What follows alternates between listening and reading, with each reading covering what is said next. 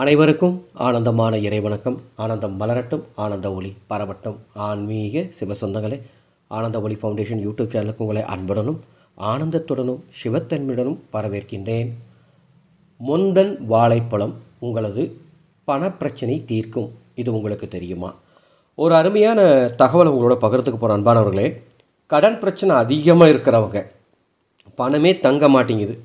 விரைய செலவு ஆகிட்டே இருக்குது மருத்துவ செலவு ஆகிட்டே இருக்குது அப்படிங்கிற கஷ்டத்தில் இருக்கிறவங்க இந்த விஷயத்தை கேளுங்க இதை செய்யுங்க. கைமேல் பலன் தரக்கூடிய ஒரு அருமையான விஷயத்தை சொல்ல போகிறேன் ஆடைக்கு பொறுத்தவரை ஒரு தகவல்.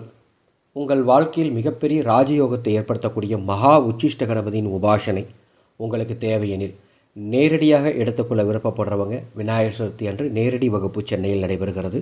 நேரடியாக வர முடியாதவர்களுக்காக வாட்ஸ்அப் வகுப்பு அன்று தொடங்கப்படுகிறது. மிகப்பெரிய செல்வம் செல்வாக்கு ராஜயோகம் தரக்கூடிய அற்புதமான பேராற்றல் தான் மகா உச்சிஷ்ட கணபதியினுடைய உபாசனை. நான்கு சக்தி வாய்ந்த மந்திரங்கள் வழங்கப்படும். உங்கள் வாழ்க்கையில் மிகப்பெரிய திருப்பு முனையாக இருக்கும்.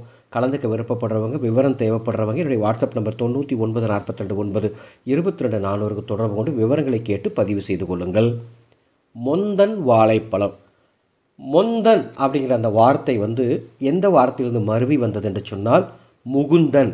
முகுந்தன் வாழைப்பழம் என்பது மருவி மொந்தன் வாழைப்பழம். அதை ஒரு சிலர் மொந்தை வாழைப்பழம் அப்படின்னு சொல்லுவாங்க.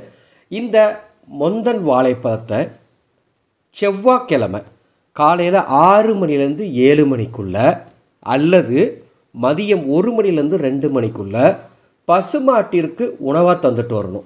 செவ்வாய்க்கிழமையில் காலையில் ஆறுலேருந்து ஏழுக்குள்ள அல்லது மதியம் ஒரு மணிலேருந்து ரெண்டு மணிக்குள்ளே மொந்தன் வாழைப்பழத்தை பசுமாட்டிற்கு நீங்கள் தந்தீர்கள் என்று சொன்னால் கஷ்டம் நிச்சயமாக தீரும். கடன் பிரச்சனை நிச்சயமாக தீரும். விரைய செலவு நிச்சயமாக குறையும். செவ்வாய்க்கிழமையில் தரணும் தான் முக்கியம். அதற்காக மற்ற கிழமையில தரக்கூடாது அப்படின்னு நான் சொல்லலை. இது ஒரு தாந்திரிக முயற்சி செஞ்சு பாருங்கள் முயற்சி செஞ்சு பாருங்கள் நல்ல ஒரு ரிசல்ட் இருக்கும். செவ்வாய்க்கிழமையில் இந்த நேரத்தில் பசுமாட்டுக்கு அந்த பசுமாடு எங்கே இருந்தாலும் சரி பசுமாடை தேடி போய் இதை உணவாக கொடுங்க. நிச்சயமாக மிகப்பெரிய மாற்றம் கிடைக்கும். முயற்சி செஞ்சு பார்த்துட்டு நம்ம சேனல் கமெண்ட் பாக்ஸில் உங்களுடைய அனுபவங்களை பகிர்ந்து கொள்ளுமாறு அன்போடு கேட்டுக்கொள்கிறேன். இந்த சேனல் இது வரைக்கும் நீங்கள் சப்ஸ்கிரைப் பண்ணி சப்ஸ்கிரைப் பண்ணிக்கோங்க. உங்களுக்கு தெரிந்த அத்துணை பேருக்கும் இந்த ஆடியோவை பகிர்ந்து கொள்ளுமாறு அன்போடு கேட்டுக்கொள்கின்றேன். ஆனந்தம் மலரட்டும் ஆனந்த ஒளி பரவட்டும்.